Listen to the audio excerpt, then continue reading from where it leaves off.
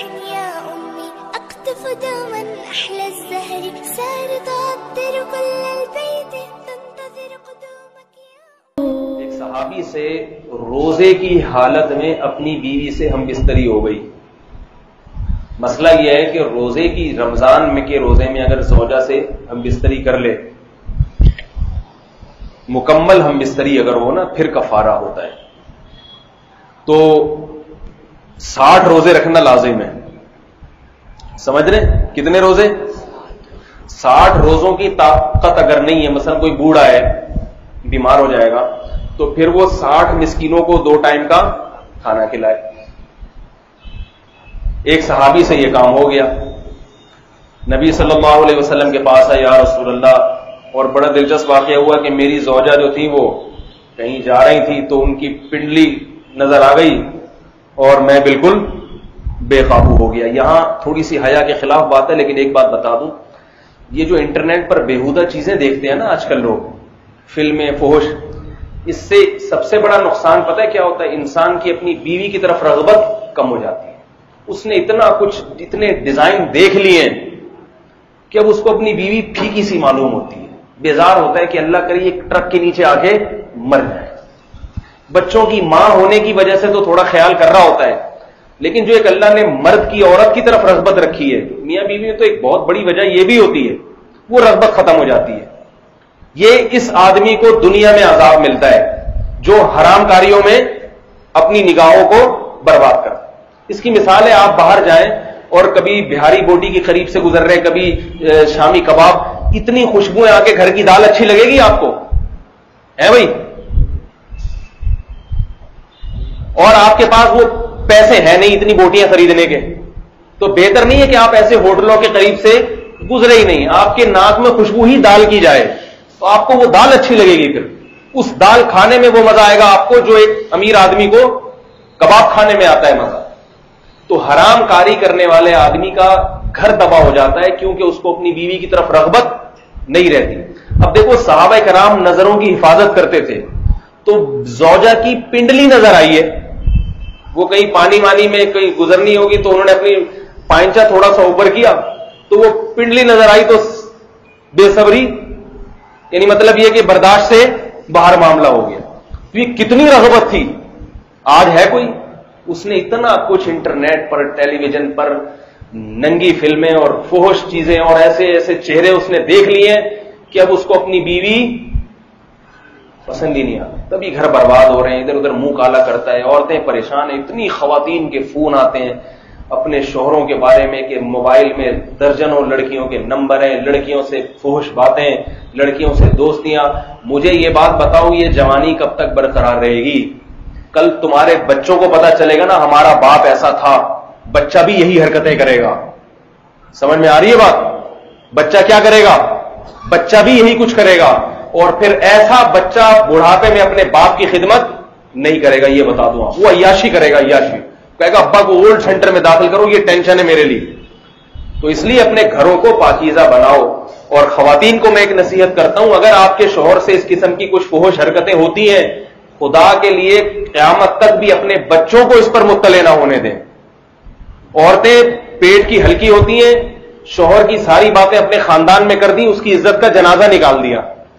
अब शोहर बाद में बाज दफ़ा तोबा कर लेता है। वो तोबा तो करता है, मगर उसके खानदान में वो जलील हो गया और खानदान वाले उसके औलाद को बता देते हैं ये सारी बातें।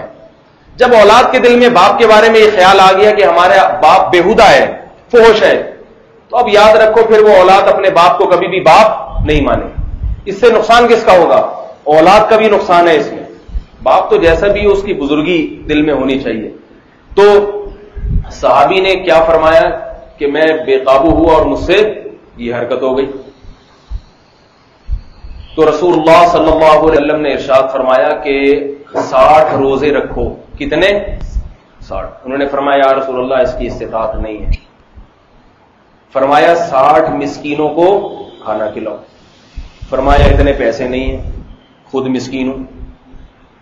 अब क्या करें? कुरान हुक्म तो यहीं तक है कि जब पैसे आ जाए तो कर देना, सबर करो। लेकिन आप सल्लल्लाहु अलैहि वसल्लम ने यह सोच के भी थोड़ी सी तो सजा मिले ना इनको। चलो वो तो जब अल्लाह सेहत देगा, साठ रोज़े रख लेंगे, पैसा देगा तो साठ गरीबों को खाना खिला देंगे। लेकिन थोड़ी सी फ़िलहाल सजा मिलनी चाहिए। तो आप सल्लल्लाहु अलैहि वसल्लम ने साहब कराम से फरमाया, भाई, कुछ सदका उनसे फरमाया कि कुछ थोड़ी सी रकम सदका करो। उन्होंने फरमाया, कुछ भी नहीं है। तो आप सल्लल्लाहु अलैहि वसल्लम ने साहबा से फरमाया कि इनको कुछ पैसे सब जमा करके दे दें। सब साहबा ने थोड़ा सा उनके लिए चंदा किया। इनको हदिया दे दिया, ये लोग। आप सल्लल्लाहु अलैहि वसल्लम फरमाया जाओ मदीना में किसी मिस्कीन को सदका कर दो ये रकम।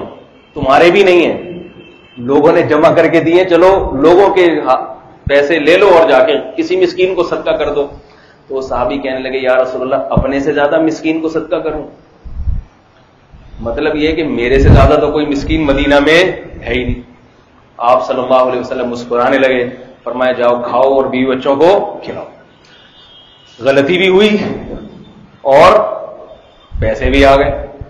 तो ये नबी सल्लल्लाहु अलैहि वसल्लम ने उनके साथ मोहब्बत का मामला किया।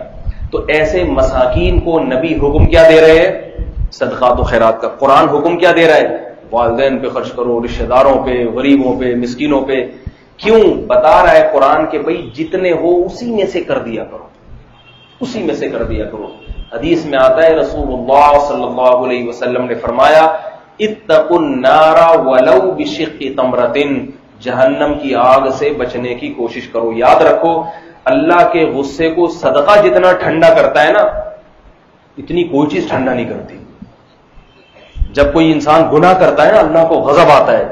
तो अल्लाह के गजब को ठंडा करने के लिए सबसे बेहतरीन नुस्खा क्या है?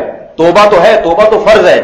तोबा के अलावा दूसरी चीज़, सदका कर दे, किसी गरीब को कुछ पैसे दे दे। इससे अल्लाह का गजब गुस्सा कम होता है अल्लाह ताला तो आप सल्लल्लाहु अलैहि वसल्लम ने फरमाया, जहन्नम की आग से बचने की कोशिश करो सदक़े के ज़रिए।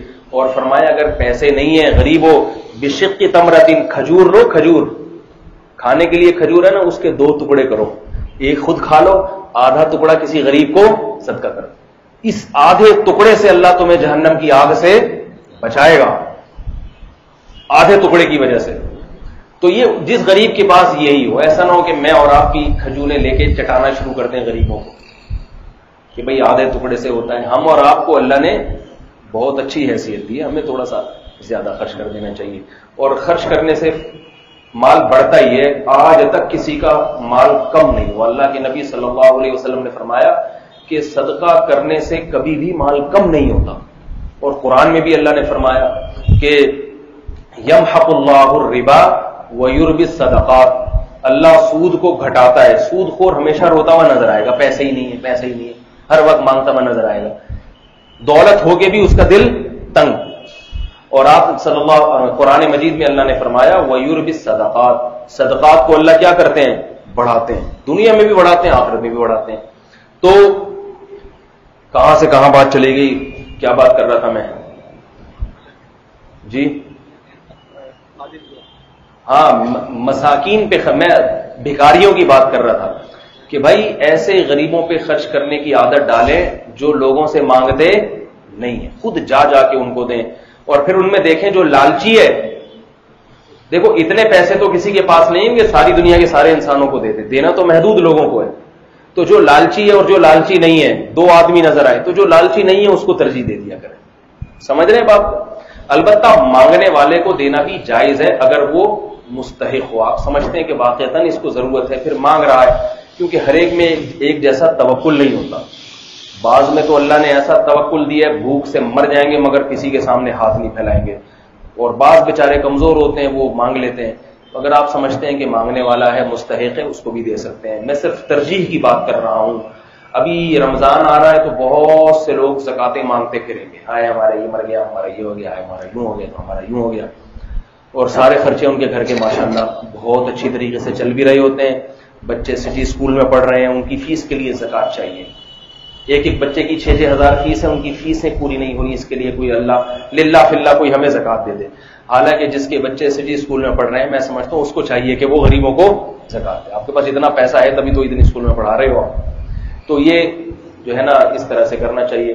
तो खादिमों के साथ उसने सलूक क्या हुआ कि रमज़ान में उन खादिमों को रमज़ान क्या नहीं तो किसी भी महीने में उनको जितनी उजरत बनती है वक्त से पहले दे दें, जितनी बनती है उससे थोड़ी सी ज़्यादा दे दें। और रमज़ान में खास तौर पर नबी सल्लल्लाहु अलैहि वसल्लम ने हुक्म दिया है कि मजदूरों और खादिमों से पर रहम किया जाए, उनसे काम कम लिया जाए। बहुत से कंपनियों के मालिकीन ऐसे बदबख्त हैं कि वो रमज़ान में शर्त लगाते हैं कि मजदूर को रोजा रखने की इजाज़त नहीं। क्योंकि वो कहते हैं रोजा रख के काम कम करेगा। इस हराम खोर को मालूम नहीं है कि रिस्क देने वाला कौन है? अल्लाह है। बाज नमाज़ नहीं पढ़ने देते कि नमाज़ पढ़ेगा ना तो ये कंपनी का नुकसान होगा इसमें ये बड़ी बदबख्ती की बात है। तो और सऊदी अरब में क्या होता है? सऊदी अरब में अरबों में जो मैं बार बार बताता हूँ ना, कुछ सिफात बड़ी अच्छी हैं अरबों में। एक सखावत। रमज़ान में अरबों की सखावत देखो कभी जाके वहाँ, पता चलता है कि इन आयतों पर असल अमल अरब करते हैं। रमज़ान में वो क्या करते हैं? खूब जो है ना, अपने मजदूरों को और मुलाजमीन को सहूलत देते हैं।